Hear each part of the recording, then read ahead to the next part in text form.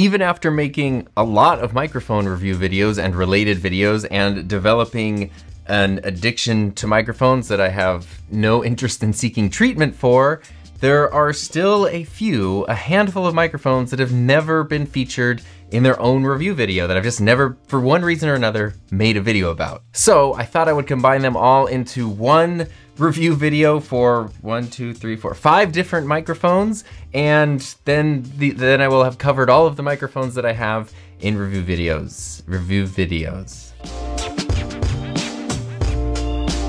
Just to emphasize, there's no specific reason that these haven't had their own videos. They're not lesser microphones by any means. And I'm going 2.0 run all of these microphones through the Rodecaster Duo and they're gonna be on either the condenser or dynamic setting with no effects and no processing. I think I've got three condenser mics and two dynamic mics here. So this will be a dynamic video indeed. We're not gonna be going in any particular order, just the order that I wrote them down in my notes which was pretty random. So we're gonna start off with the Neat King Bee 2. So you've been listening to me on the Sennheiser MKH50, which is my typical out of frame boom microphone. And now you're listening to me on the Neat King Bee 2, which is a neat microphone that is beautiful to use this is a condenser microphone. It has a really great price, I think of $169. When I've done microfew comparison videos in the past,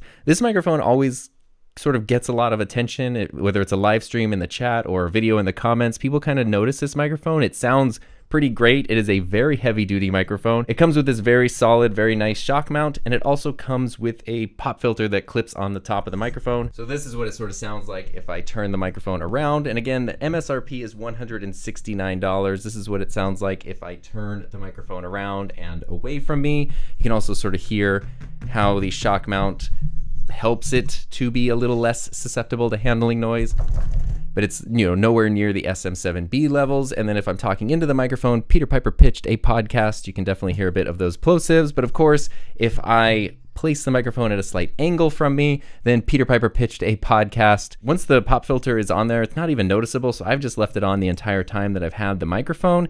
And I've had this microphone since it came out, I think almost two years ago now. So it's been a while and it is a it's a really awesome microphone. It comes with this little pop filter, comes with the shock mount, $169. I think the reason that I haven't used this as much as I would normally like to personally is just because it is so heavy and mounting it on a boom arm can be a little tricky, especially if you don't want it sort of just in the way. I might have found a solution to that though, which was recommended to me in my video about the Lewitt LCT 240 Pro. This adapter right here, the Audio Technica AT8459 is this really cool heavy duty ball adapter thingy. And it's not cheap, it's like 40 or $50 but it's super sturdy and then it can support and let you position microphones however you want them. So now that I have this, I might be able to try out the King Bee 2 again in my setup and it might not be too heavy for the boom arm, but that, that has kind of been it.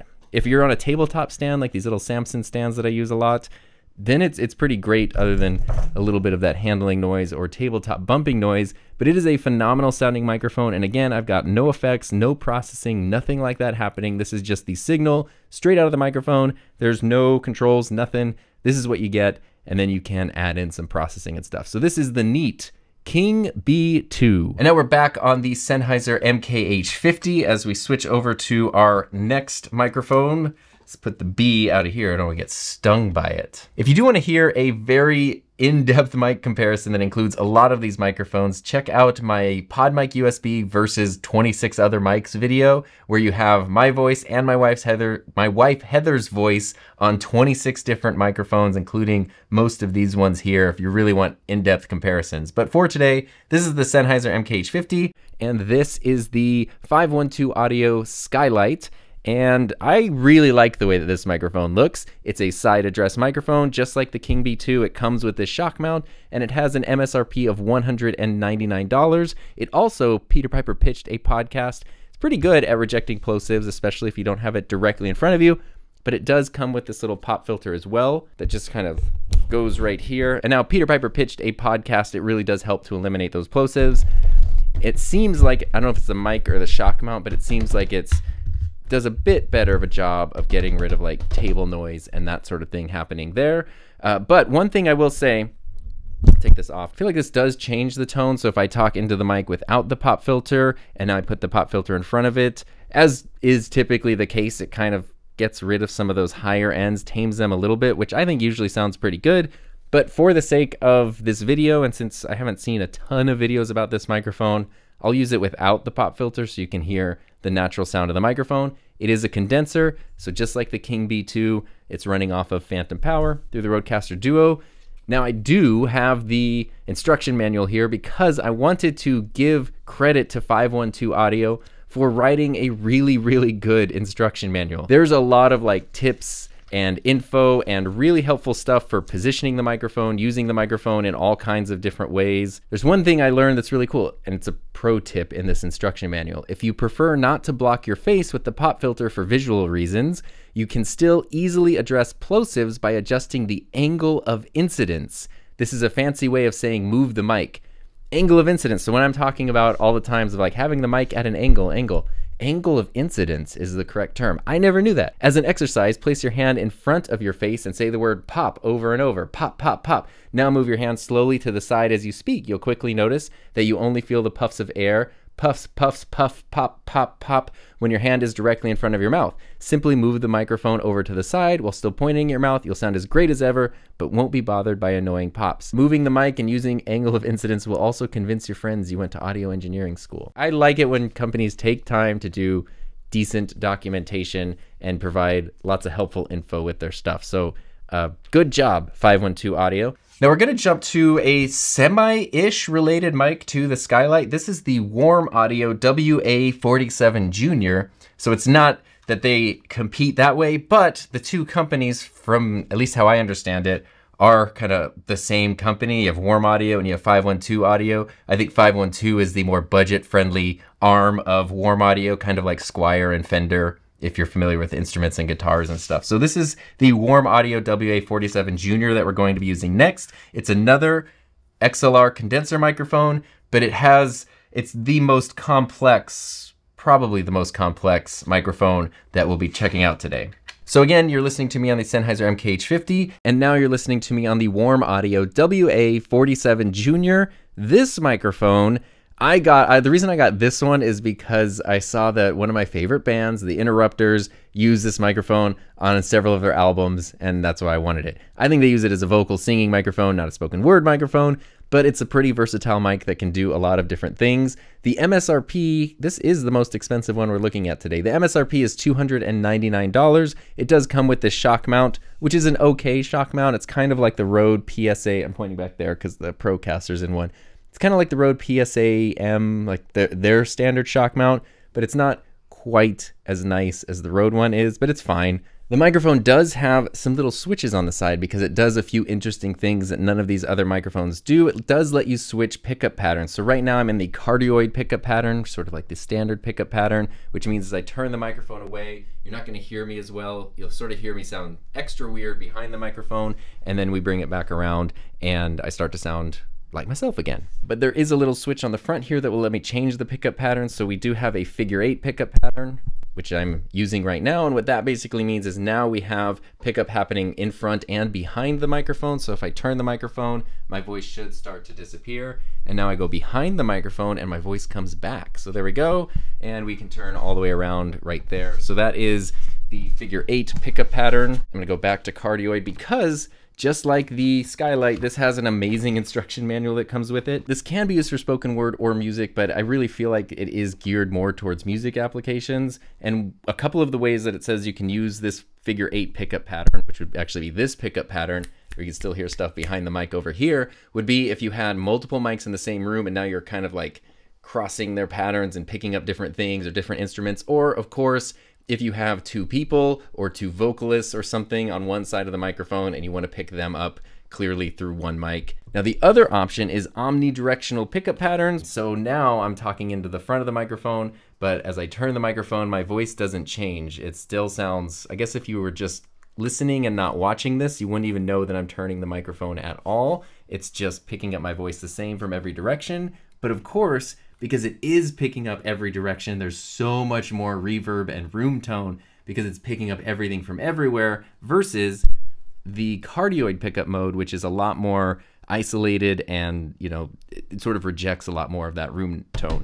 And speaking of rejecting, this mic, I think, so far of the ones we've done, does the best job of not picking up too much handling noise. We do have some switches on the back as well. The first one is a high pass filter switch, which is basically a good way to get rid of low rumbles. So sometimes if you have somebody with a really deep voice, it can kind of get rid of some of that low rumble. But also if you're in an environment where there just is, I don't know, wind noise, air conditioner noise, some sort of low rumble, you can flip this high pass filter there we go. And now what that basically means is it's stopping some of the low end frequencies. I think goes to 70 hertz. And then the higher ones get to pass over that, that blockade that shows up there. So this is what it sounds like with that. It definitely sounds thinner, but it's supposed to because we're removing some of that low end. I'm going to switch back now to the microphone's full frequency spectrum. And this is what that sounds like. I think on my voice, I like this more than the other one, but it's all just personal preference, really. And then the other switch is a negative 10 decibel pad. So basically, that's going to sort of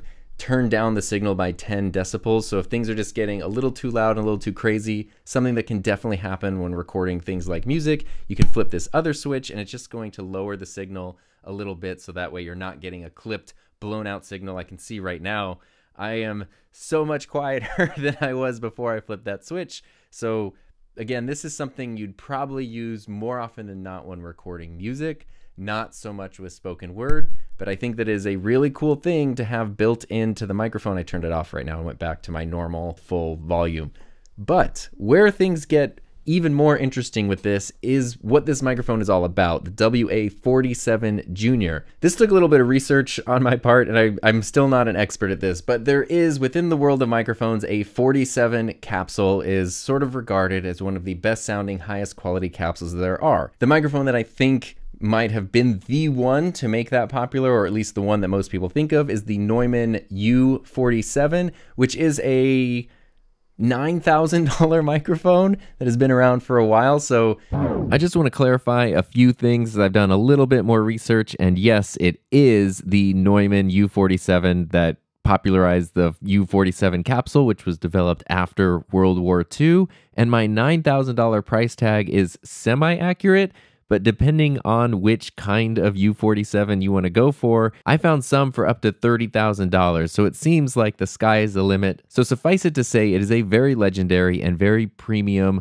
microphone capsule. This is a $299 microphone. It's not trying to directly compete with the $9,000 microphone, but the idea behind the sound and the capsule is supposed to be similar to that. It's supposed to reproduce that sound. I don't have the Neumann U47, so I cannot compare it to that. Warm Audio does make the WA47, which is a 900 or $1,000 microphone that is a tube microphone that is more of their direct competitor to the U47. Where the 47 Junior comes into play is that it is way more affordable. It's only $300 and it does not is not a tube microphone. So it's just a regular condenser microphone. That means you can run it off phantom power. Tube microphones are really tubular and super cool, but they're also a little more difficult to work with and you have to wait for tubes to warm up and there's different parts of the setup. There's a different power box. It's more complicated than just plugging your XLR cable into a Rodecaster and hitting, you know, the condenser button to use your microphone. So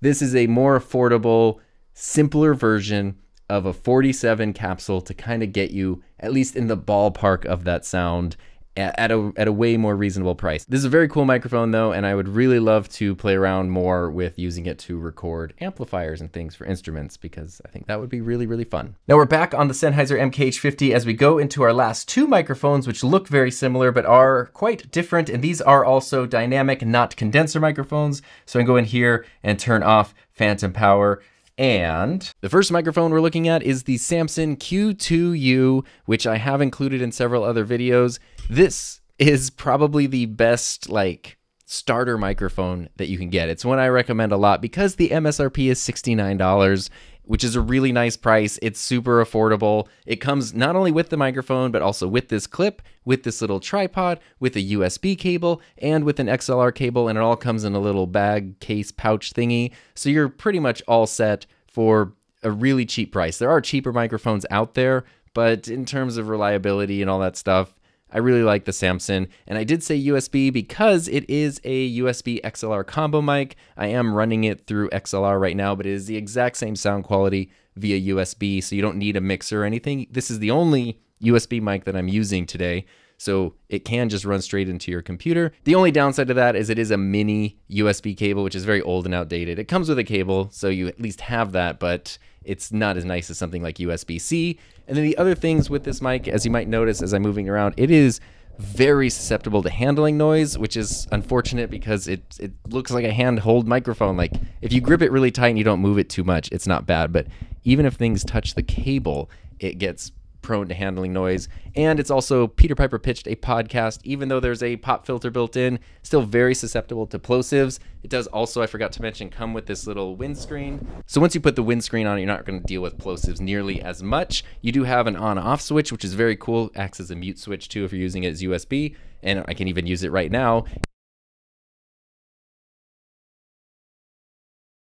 And now I'm turning the microphone back on. You do have volume up and down for your headphone output because you do have a headphone output on the bottom, which works with USB, not XLR mode. But it's really cool on a small mic like this to have XLR, USB, and a headphone output on the bottom. And it's basically the same size as like a standard non-USB XLR microphone. So this is a very decent setup that you can get for a very reasonable price and I think it's a great place for a lot of people to start out it's also something that, that you might outgrow the microphone. Maybe you want different sounds or different style or something, but it's something that can be useful a lot. It might go from your main microphone to your secondary microphone, or maybe you have a microphone that's your main and you want to get a second one for a guest, but you don't want to invest in the full price again for a microphone that's only going to be used sometimes. This is great for that. It's a great travel microphone because of the USB functionality and the price. You just can't beat the price. It works really well. It sounds very decent, I think. It's it's a little it's almost pod micy in its harshness, but I think it sounds fine. You could just EQ it. Again, I have no EQ going through this. You can't argue with anything about the Samson Q2U for the price. So any complaints I have, it's like it's like the movie Hot Tub Time Machine when people are upset that like that movie was stupid. It's like it's called Hot Tub Time Machine. You got exactly what it promised. This is a $69 microphone that comes with like a whole bunch of accessories and has USB and XLR functionality there's really nothing you could complain about. This is the Samson Q2U. Back on the Sennheiser MKH50 as we switch over to the last microphone. I've included this one in quite a few other videos, but I only recently got one of my very own that I didn't have to keep borrowing, and this is the Shure SM58. There are different versions of the SM58. Some have power switches, some have wireless, but the sound quality is basically the same. This is the standard $99 version. There's no controls on it. There's no USB functionality or anything like that. And this is what it sounds like, the Shure SM58. This is, I think if you took somebody it's like the Stratocaster of microphones. If somebody doesn't play guitar and you ask them to think of a guitar, unless it's something crazy like a Flying V or something, I think they probably imagine something that looks like a Stratocaster. I think most people, if they're not familiar with microphones or audio gear and you ask them to think of a microphone or draw a microphone, they're probably thinking of something that looks like the Shure SM58. Even the Samson Q2U, it's pretty obvious where they took their design cues from because yeah, this was significantly smaller, but it's very similar. And of course, you can use a pop filter with it, although it's not nearly as susceptible to plosives without it. And I'm sure all of us throughout our lives have seen many people use SM58s with no pop filters because you don't need it. It's designed to work really well on its own, and it is way less susceptible to handling noise. It's still, you know, still going to happen. But the ability to just hold this microphone and talk into it without any of that weird handling noise is great and uh, less grating on your ears because it doesn't sound unpleasant. And it's $99. You can just buy this microphone and you're kind of set for a really long time to come. And it does come with the little clip, like a clip kind of like this one, but it doesn't come with anything else. You're paying for a classic Shure microphone that will surely last a very long time. And speaking of things that are sure awesome, thank you to everyone who helps support my channel through Patreon and YouTube channel memberships. And speaking of things that will last a long time, check out this super long video, the super in-depth mic comparison, even though it's centered around the PodMic USB. There are so many microphones, so many different comparisons, and you have a male and a female voice on each of them. So check that out, and I'll see you in that video.